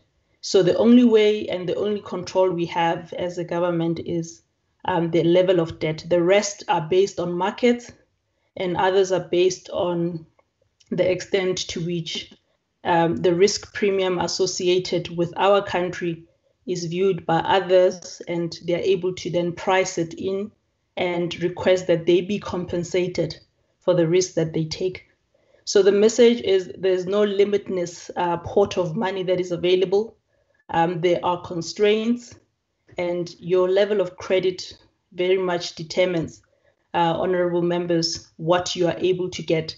It's very similar to your own uh, balance sheet. If you go to the bank, you are able to get prime or prime less something because you are in good standing. And if you're not, you are going to pay prime plus or you might even be rejected by banks and you might find yourself uh, having to get with these resources from mashonisas who would then um, request that you very much over, uh, overcompensate them for the risk that they are taking with you. It's no different from the sovereign, um, and certainly uh, something that we worry about all the time, and something that we are concerned about uh, for future generations, given the intergenerational equity principle that underpins our budget. So, honorable members, as, as much as there's a sense that there is a lot of money in this country, um, it, it, it, is, it, it is the case, but it is deployed. And to the extent that we are able to access it and we are able to grow the economy, grow the savings of this country, and make sure that we are able to deal with our affairs, unfortunately, we'll have to go and rely on some of these external savings uh, to be able to do what we need to do. honorable members. Thank you. Uh, thank you, Chair. Yeah, come in, please. DM. Yes. Okay. Just to reinforce the, the point that uh, the minister made on Regulation 28, uh, the part that uh, you could not read in his speech. Regulation 28 is there to ensure that uh, the retirement funds are safe. They are, in other words, they are deployed in such a way that uh, there will be good returns for the savers, and it therefore guide the asset managers or money managers on where exactly should they deploy that money in percentage terms. So it will have different percentages to guide that you can invest in these assets. So the, the, point there, which uh, the minister uh, was referring to, is that there is uh, a, a percentage of 25 which is categorized as immovable properties. And that simply refers to, uh, you can't see me. No, we can. Okay. Thank you, Maybe Chair. Virgil can't see. We can. Can members generally see the DM? Okay. Should I come closer? You're being managed by your department, I see. Okay. Am I visible? You most certainly are, to me at least. Right, go ahead, please. Cover principal, cover principal, you are visible. Oh, great. Um, so the immovable property uh, has a 25% allocation. So, and the immovable property um, refers to properties for private consumption. It could be housing, it could be properties for business, malls, and other properties. So the idea here is not to move above 25%. It's simply to say that 25% should include infrastructure assets. And by infrastructure assets here refers to roads, basically public infrastructure, which is different from the immovable uh, properties. But like the minister has said, the, we will have to come back to you on this and want to assure the retirement funds that their funds are safe and there's no intention here to change the regulation in such a way that will sacrifice the returns and the safety of these retirement funds. I thought I should I should add that and clarify. Now, the second point about the state bank. Again, the, the intention here is to consolidate a number of assets that are bank, quasi banks, and some of the banks that we basically have Ithala, Post Bank, and consolidate them under a bank which is, will be a deposit taking bank. Uh, and whose target uh, at this stage, the way we're thinking about it, is that, uh, like I said, it must consolidate the different assets that we have, uh, which are like quasi banks. And in that way, we will make sure that we reduce the expenditure on, on a number of entities that are there. So it's, it's part and parcel of consolidating what we already have. But we, we, we are also thinking in terms of the target, we're targeting what is usually called the missing middle, which are people, they don't qualify for RDP houses, but they also don't qualify for bonds when they for mortgages when they go to the banks when their kids go to uh, institutions of higher learning they don't qualify for uh, NSFAS, but they also don't qualify for uh, uh for for loans uh, from the banks.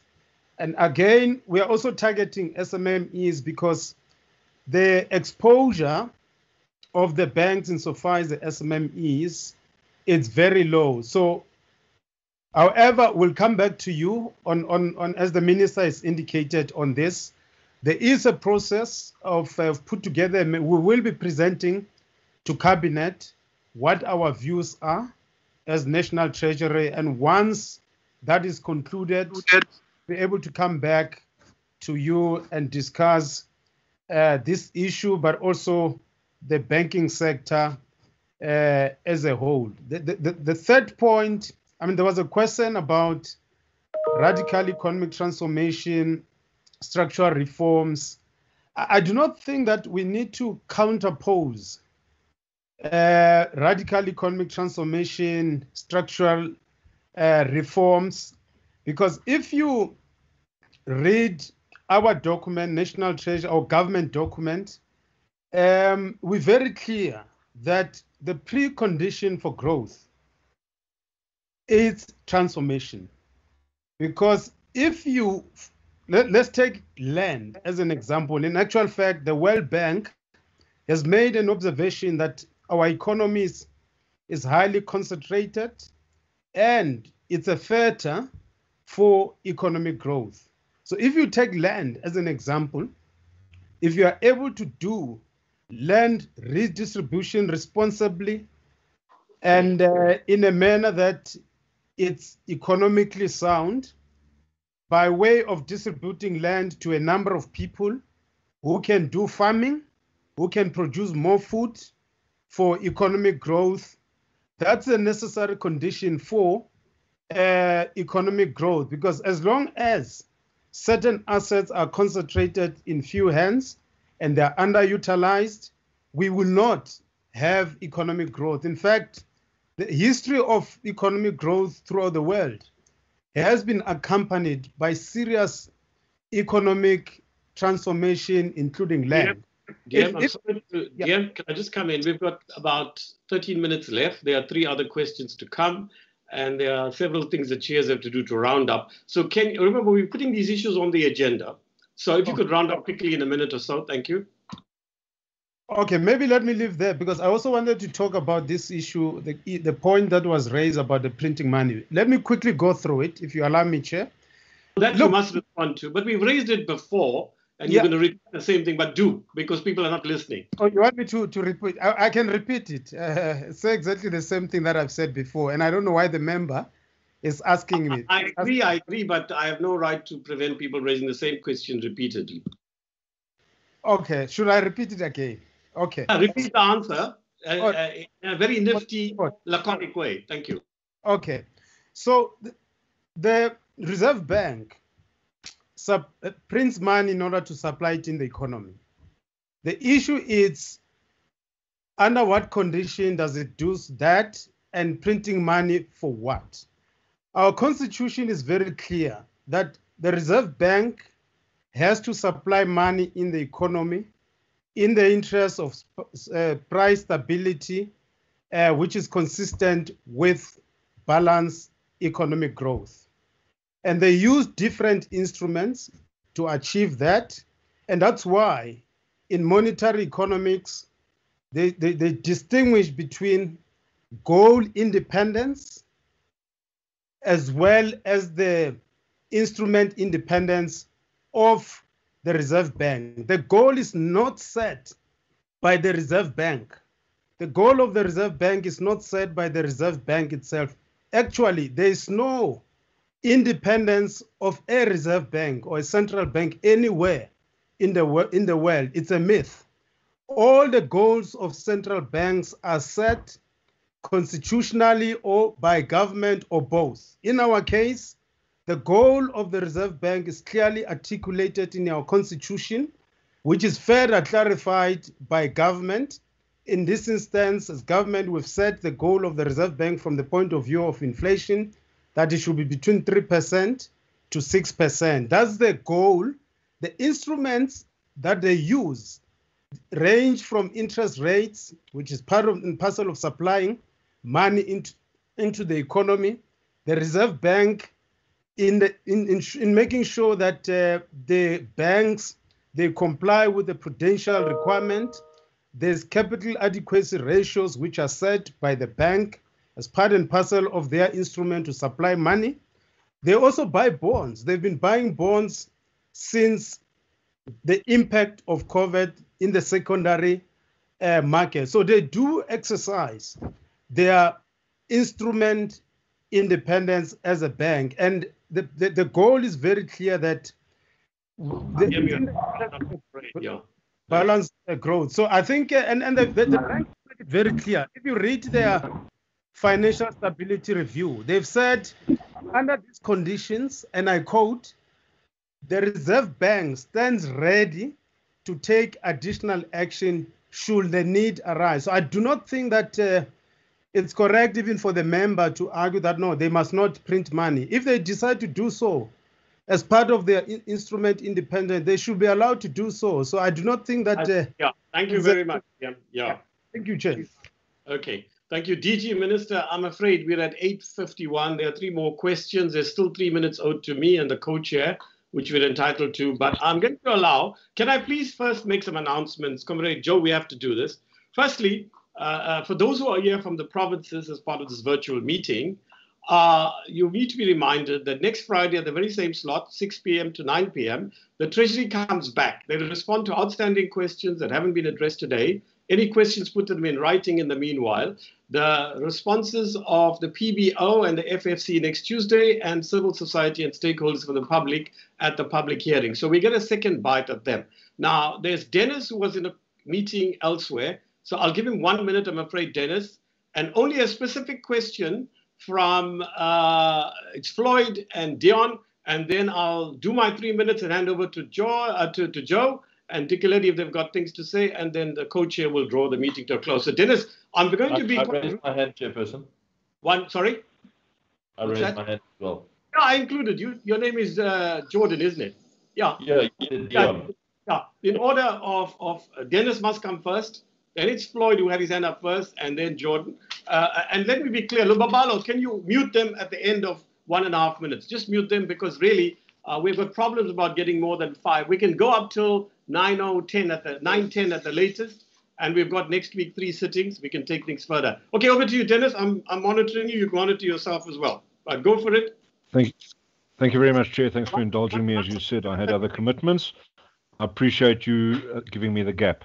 Um, really, I just want to ask a question about sentiment. So, obviously, the, uh, the, the current account deficit is going to be superficially affected by uh, the lockdown situation. But can we have an indication of what the cu- current account deficit is looking like at the moment, so we can gauge uh, sentiment, certainly in, in, in terms of, of, of foreign investment as well. Um, and linked to that, but not entirely the same, what is the state of bond sales since the downgrade? So specifically since the Moody's downgrade, um, you know, in terms of yields and subscription, uh, you know, perhaps excluding the SARB purchase, uh, what what has been the situation with uh, government bonds in the interim? Thank you, Chair. Thank you, Floyd. One and a half minutes, please, no more, to be fair. No, thanks, Chair. It's almost a year since uh, the minister committed on assigning the deputy minister of a state bank, and it looks like he's coming. Can we get a time as the committee where we're going to be given a clear plan of what will be this state bank so that we can give our clearly about African Bank being the nucleus of that uh, state-owned bank. The, the second issue that I want to raise uh, quickly, Chair, is where does National Treasury get this thing that uh, budget to contain uh, the debt crisis? Like, where does it come from? Because all scientific theory, even the orthodox are now coming to rationality through science that there has never been a coming in that comes through austerity measure. And lastly, and then lastly, quickly, Chair, the deputy minister is assigned to implement or coordinate the structural reforms. What exactly is he going to do? There is no unity, uh, the spectrum in terms of the water plan, in terms of irrigation system, about a variety of things. What exactly is he going to implement when there's no agreement even in cabinet about this so-called structural reform? What exactly is he going to do? Thanks. You were Yes, we lost you now and then, but I think uh, the questions were reasonably clear. Geordin, one and a half minutes, thanks. Thank you very much. Just as we've been sitting here, Moody's Investor Services has released a note in response to yesterday's budget in which they say that it's unlikely that debt stabilization is to be achieved by 2023. And it goes to the question I asked earlier about the likelihood of the active uh, path, the, the narrow gate that the minister quoted from from the Bible. Uh, the the answer, you know, try to again make a case for why that is uh, necessary. We know it's necessary. What I want to know is, does the minister concede that it is not likely? It it cannot be considered the base case when such little progress has been made on economic reform uh, to date. I also think that there was a cop out on, on fiscal buffers. It is ultimately the Treasury that is accountable for the country's finances. And if we came into this crisis with inadequate fiscal buffers, it is the Treasury and the Minister of the Treasury, the Minister of Finance, who must uh, be accountable for that. Uh, and I'll, I'll, I'll, just push him on the cabinet commitment. I, I, I want to know is there a firm, irrevocable, cast in stone, at all costs commitment that we will achieve debt stabilization by 2023, or is it just a wish, a hope, a best effort? Thank you. Thanks, Geordin. Minister and your team, two minutes each, please. I think we should round up from the Treasury side, Minister, with due respect, within five minutes, six minutes maximum. We can spill over slightly over nine o'clock, and then the chairs need to draw it to a close. Over to you, Minister, and your team. Uh, no, thank you very much, uh, Honorable Mem uh, uh, Chair. I, I, I, think the rest maybe we could also discuss later, but let me just quickly go to um, Honorable um, is it Dennis um, about the uh, balance of payment situation. I think uh, unless if my unless Duncan, who is the chief economist at the National Treasury, has got the latest data, it's obvious that with the uh, um, problems of uh, import and export flows in the COVID situation, the balance of payment situations will be slightly different. But we know that uh, the oil price has been down, the exchange rate has been acting as some kind of automatic stabilizer in the in the situation. Inflation is down, so you could, you know, have a an educated guess about what the likely outcome is on the current uh, account balance. But as a Minister of Finance, I think I should avoid saying anything about that. On the bond sales, uh, Tshepiso could come back for one second just to give us the numbers. Um, on the Moody's statement, I do expect Moody's to express a view about what we said yesterday, and uh, will you know, have a conversation with them, debate with them, and hear what their views are. Is there a cabinet commitment to debt stabilization? The answer is yes, there is. Otherwise, the Minister of Finance, you know, who has taken an oath of office, will not stand up in Parliament yesterday and say that these are the commitments which we're making. Otherwise, you know, I could as well be arrested uh, or not have honored my oath of office. I said so on behalf of my colleagues, not on behalf of myself and my goats and sheep and chickens at home, but on behalf of the executive, the national executive. So the commitment is there. What would it take? And this is a difficult part.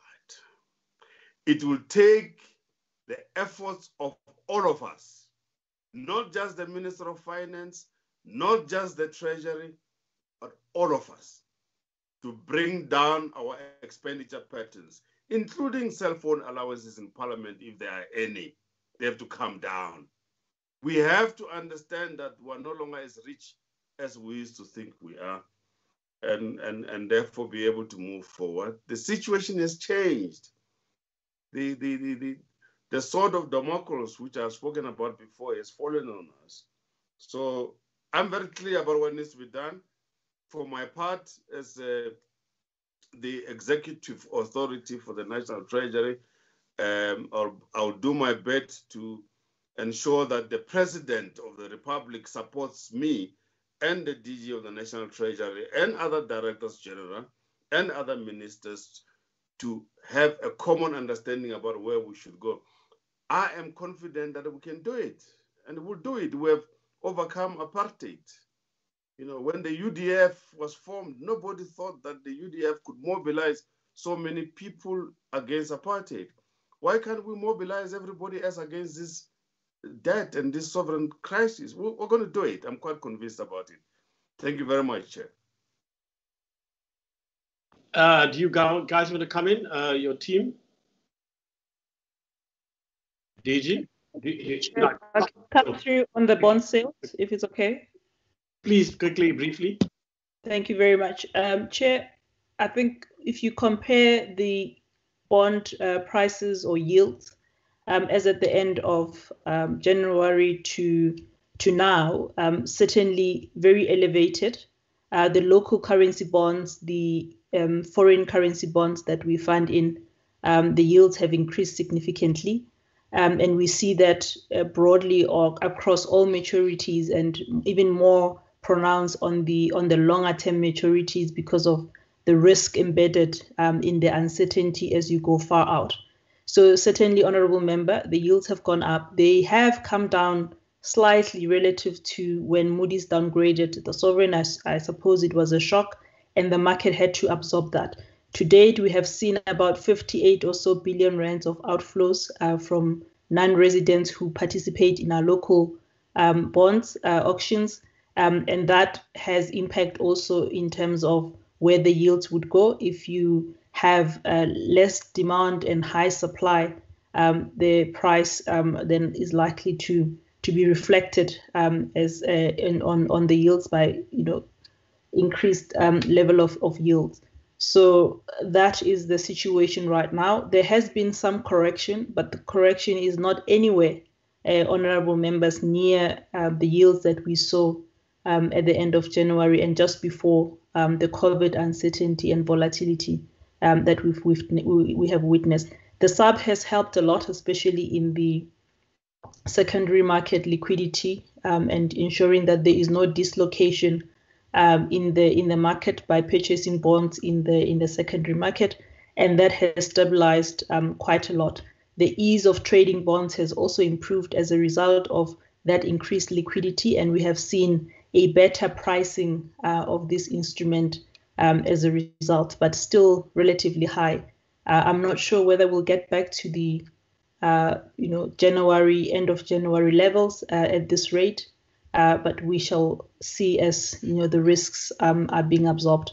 There are two things that drive this: uh, global risks and global search for yield has a very great impact um, in terms of um, how these yields behave, but also the idiosyncratic factors that are most uh, relevant to South Africa would also drive um, these yields and, and give an indication uh, of how the market perceive the risk um, associated uh, with this instrument. Um, in terms of subscription, honorable members, it, it varies from auction to auction, and uh, definitely at the height of uh, this uh, crisis, and also on the back of Moody's downgrade, uh, we did see um, an impact in the subscription rate, i.e., what we are looking for relative to how much the market comes to auction uh, was relatively small, but it has since improved and depending on what is driving the market that week, uh, you might see two times uh, subscription or three times. Uh, but if you compare with the previous trends when things were good, uh, obviously the subscription rates would be relatively high to, to what we're seeing. But there are also those investors who naturally would not care about the ratings or uh, where where the yields are, but they're just worried about being able to make a quick buck, and they usually referred to as hedge funds. Um, they are not long-term money investors. They don't take a long-term view on the country. They come in, they make a buck, they get out. Uh, and in terms of evaluating the quality of your investor base, it is always better to have people who are going to be with you for a long while and who are going to support you through thick and thin, and those and not those who just want to come in and make a quick buck and leave. And as your ratings deteriorate, um, it means that you also start to attract mashonisas as opposed to a good, good grade um, lenders, and those uh, are looking to make money very quickly. Um, and if you do not um, comply, they will have to then do whatever they need to do. Uh, most of the crisis that we've seen in emerging markets, whether it's Argentina, if you look at the holdouts in most of these debt restructure, would be entities like hedge funds because they're not there to to make value over time. They're there to make money. So it's important that as we consider these investors, we also consider the quality yeah. of investors yeah. we attract.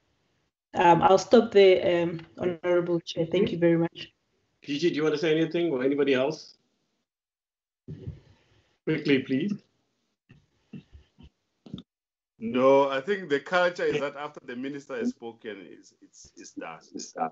Oh, I thought they were answering specific questions. I don't know if that. Oh, I, I, think we've answered all the questions. Okay, right. So then we're going to move on to the next phase. Uh, from next week, Tuesday onwards, uh, there's uh, the program before all committee members. Presumably, Lubabalo will send it out to the provincial secretaries, um, in the provincial legislatures, and so on. But before I hand over to the uh, uh, chair, co-chairperson, obviously, I'm not just a timekeeper. I'm entitled to three minutes. So the first point I'd like to make, and I'm monitoring myself, Lubabalo, will you stop me at three minutes?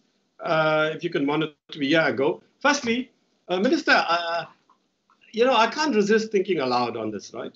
And uh, there's no reply required particularly, but I wonder, you know, as I heard you speak, whether if you knew that we're going to have COVID-19 hitting us in 2020, whether you would have accepted the post of Minister of Finance right? But it's both a, a, a light-hearted comment, but also a serious one. In other words, I think you as a Minister of Finance and your team, the Treasury, is an extremely unenviable position, unprecedented. There's no guidebook for it, and so on. And what I'd like to say is offer my subjective empathy, if you like, and suggest to the uh, committee that, you know, whatever our differences may be on policy and how we should recover and so on, I, I think Treasury is doing quite well. And I'm particularly impressed, uh, Minister and colleagues, at the new faces you've brought on today. The young people that are emerging in Treasury, the greater variety of faces, there's still need for gender improvement, but there are a whole lot of new faces since 2014, as Dick Lady and others will confirm, that have been brought here. And we thank you and the DG for that, your expanded team. On the issue very quickly of the IMF, our committees have both said that we're not opposed in principle in the exceptional circumstances we're in. We've, we also have to repeat, we've said, and yes, of course, the conditionalities, DG, of the 1970s don't subsist now.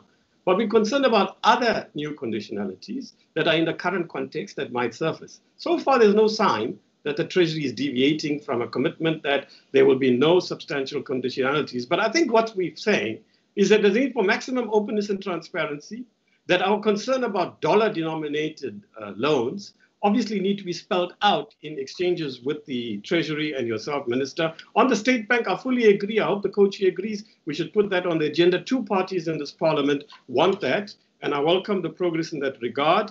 Also, to just draw attention to members that it's very useful to speak of a supplementary budget colloquially.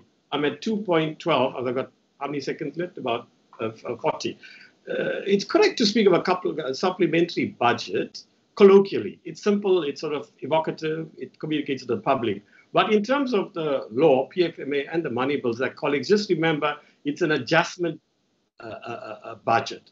And we can have more than one adjustment budget in a year. I've checked with Frank Jenkins and the Frank Jenkins and the Parliamentary Legal Services, and they confirm that you can call this an adjustment budget or a special adjustment budget if you like, but that's a term we'll use formally in our reports, except when we speak, we will speak of it. Finally, I would like, as many of us, indeed the minister himself, uh, a clearer economic framework within which much of this is located. Yes, the elements there in the national treasuries uh, and cabinet subsequently approved uh, position on this, but we would like more of that and hopefully that will become clearer yet in the new circumstances. I'm at three minutes. And finally, to say that members, we need to think again and again about the way we run our committee meetings. Uh, some of us have tried to shift from this what I call shopping list, where a series of questions are asked, the executive replies, and then it left hanging in the air. We need to cluster questions and a more thematic approach and, and so on so that we can focus on particular issues and avoid repeating questions asked before. I have repeatedly, I've tried as a chair, uh, Comrade Joe, and failed because, especially in bigger meetings, members don't like that. They all want to have their say, which is also understandable. But we need to review the way we manage this sort of process and hand over now to you, Comrade Joe. We've got about another five, six minutes left, and maybe Dick Leary wants to say, thank you. Thank you, Minister. You were very specific in your replies, whatever anybody else said, and the undertones that didn't exist now don't exist in what I said, okay? So shall we move on? Thank you indeed. Uh, uh, thanks very much, uh, Chairperson, uh, Honorable Carrim. Uh, what I would also want to say is that uh, you will remember that last time we discussed the economic recovery plan, of which the minister indicated that the cabinet is still working on it. We'll, have to come back to the economic reconstruction post lockdown, and the minister should indicate as to when will that uh, economic uh, recovery plan will be available for the parliament to be briefed about. So the recovery plan and what we are discussing today are intertwined because for that plan to survive, it has to be uh, funded by the budget. So at the right time, Minister, you will indicate your readiness and the Parliament will be available to listen to you. And I will also request, Minister, that uh, there is uh, a, a, cry from uh, SMEs for their invoices to be paid in time. If uh, I know that uh, they are supposed to be paid within uh, 30 days, so if the departments can stick to the 30-day period, mm-hmm. because at the time in which we find ourselves, most of the SMEs are finding it very, very difficult to survive. And government is the biggest procurer of services in the country. So government intervention is very important at this critical time. Let me outline the process uh, from now moving forward. Uh, the budget has been introduced yesterday by the minister. Uh, the Speaker of uh, Parliament has referred the budget and uh, all the accompanying uh, bills to the committees. On the 8th of July, we are having to, uh, we are going to have a consideration of the revised fiscal framework. On the 15th of July, uh, the National Assembly uh, will consider the division of revenue. Uh, on the 22nd of July, the NCOP will uh, consider the division of revenue. And then uh, from there, uh, the budget will be referred to the NA committees. From the 21st to the 24th of July, uh, there will be mini plenaries in the National Assembly, which will be held uh, from uh, every Tuesday until uh, uh, it will be from Tuesday until uh, Friday. That is the 21st to the 24th. So uh, it will be every day from Tuesday until uh, Friday. It's quite a very tight schedule. On the 29th of July, NA will consider the adjustments uh, uh, uh, amendment appropriate I mean adjustment appropriation no, no, no, no. Consider NA consideration of adjustment appropriation on the 29th of July.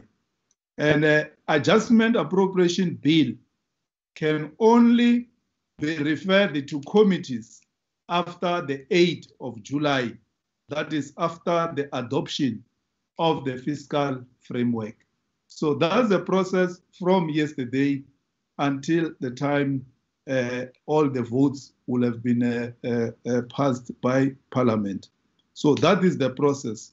Uh, let me thank you, uh, uh, Chairperson, and thank other chairpersons of committees of NCOP and NA. Thank members of the NA and NCOP, chairpersons of provincial legislatures responsible for finance, the minister, the deputy minister, uh, the DG and his uh, uh, technical staff or his team, the staff of parliament, media eh, indlopfu ya hina eh, siyabulela roribuwa bayadanke the meeting is officially adjourned thanks thank you Thank you, Chair. inkomo dokotela Thank masol you. Good night. Thank you, Chair. Thank you. bayadanke akhbare Baie dankie, Agbaris. En Dankie, dankie, baie dankie, baie dankie. Vaya también. Señor, señor, señor, señor, señor. Para darse.